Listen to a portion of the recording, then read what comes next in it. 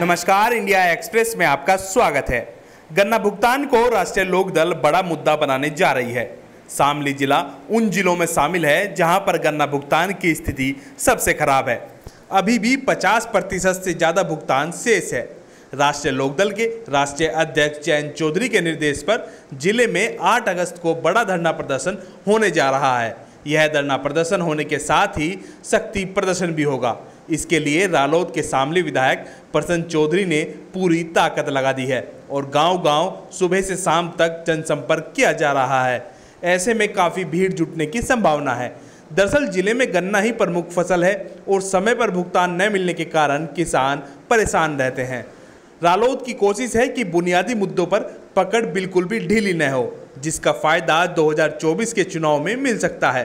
वहीं रालोद के जो नेता इस धरना प्रदर्शन को लेकर सक्रिय नहीं हैं, उन पर भी हाईकमान की नज़र है। क्योंकि जल्द ही संगठन में पद भी दिए जाएँगे और जो सक्रिय नहीं होगा, गुटबाजी को बढ़ावा देने वाला होगा, उन्हें संगठन में कोई महत्वपूर्ण दायित्व नहीं मिलेगा।